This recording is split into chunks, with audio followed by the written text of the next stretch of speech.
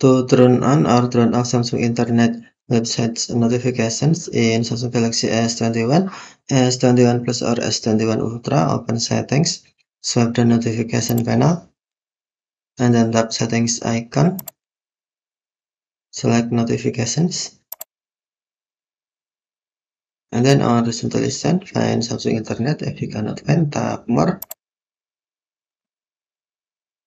And then tap most recent the menu. Select all. Scroll down the screen. Find Samsung Internet.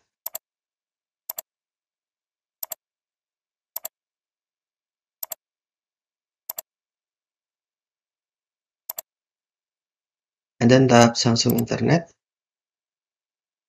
Next, tap notification categories.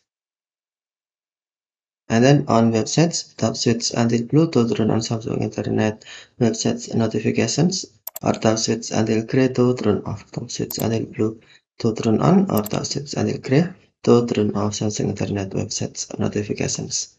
Okay, thank you for watching. Have a nice day.